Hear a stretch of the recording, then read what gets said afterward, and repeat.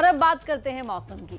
मैदानी इलाकों में बारिश हो रही है तो पहाड़ों पर भारी बर्फबारी हो रही है। आइए अब आपको दिखाते हैं तीन तस्वीरें। ये तस्वीरें हैं हिमाचल की राजधानी शिमला की, जम्मू कश्मीर के रामबन की और आस्था के केंद्र वैष्णो देवी धाम की।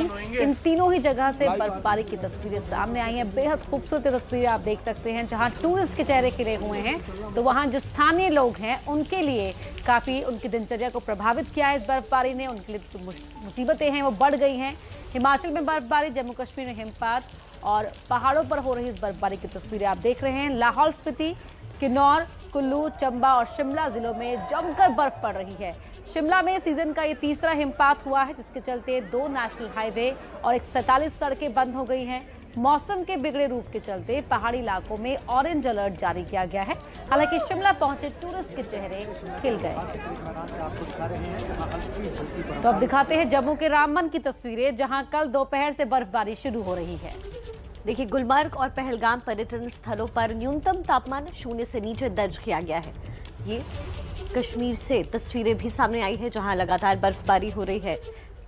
आपको बता दें, कटरा में हुई बर्फबारी से माता वैष्णो देवी का भवन सफ़ेद चादर से ढका हुआ नज़र आया। तस्वीर आपके सामने हर तरफ़ बर्फ़ नज़र आ रही है। ऐसे में माँ के दर्शन के लिए श्रद्धालु बर्फबारी का लुत्फ भी उठा रहे हैं। माता वैष्णो देवी के भवन पर अब तक तकरीबन आधा फीट बर्फ़ पड़ चुकी है। वहीं भैरव घाटी में एक फीट तक बर्फ़ पड़ी है।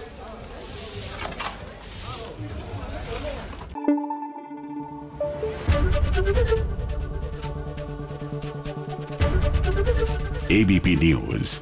आपको रखे आगे।